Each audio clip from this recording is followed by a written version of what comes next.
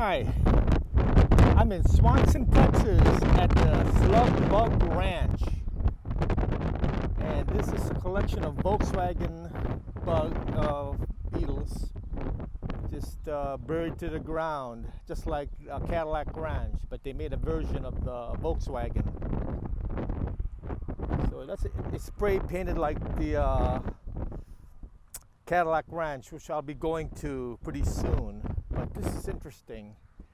Too bad I didn't bang, uh, bring a can of spray paint. It would have been great. But look at his vehicles.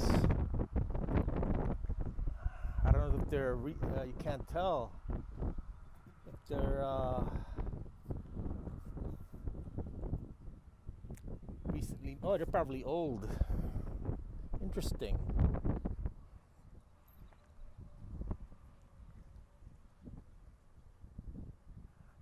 Wow, look at that. It's amazing.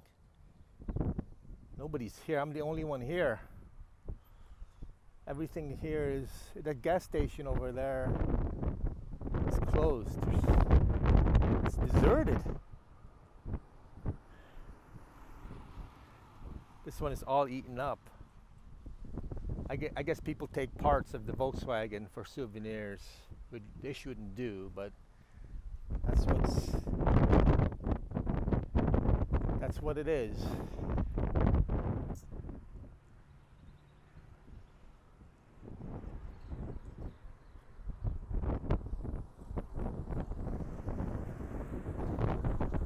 Oh, there's the, uh, there's the spray paint. Maybe I will spray something. Oh, they're all they're all empty.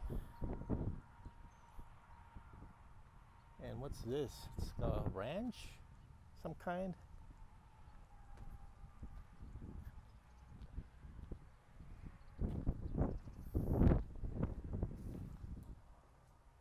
Like an office area.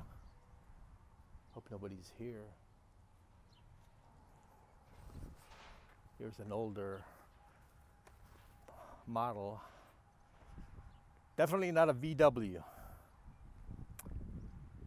The 30s car. And look at these tires. This is uh, the cemetery of tires. So I'm on my way to uh, Amarillo, gonna eat at the Big Texan. I don't think I can do the 64 ounce steak. You get it for free if you eat the whole thing. Uh, I don't think I can do that. But yeah, this is interesting. Interesting.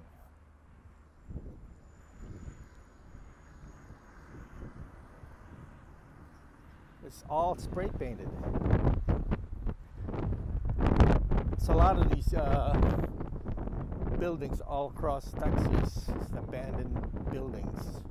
But these is, uh, but these are all spray painted. This is the only one of its kind. I think I've, I've known so far. What are those seats for stadium seats? It's interesting.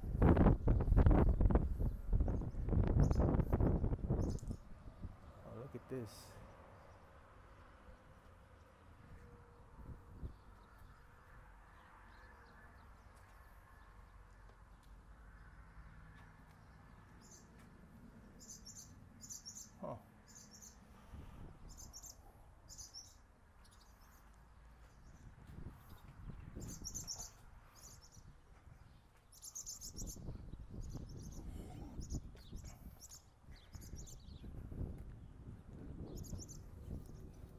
Old gas station from the 60s. Probably been here for years. And it says the Route 66 sign up there. There's a home over there in the back. But I'm not going over there. I'm just going to go over here. I'm going to split.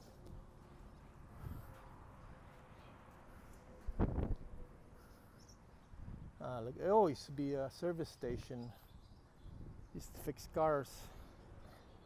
See, I think that business is uh, active. There's motels open. There's a there's the sign. There's the road.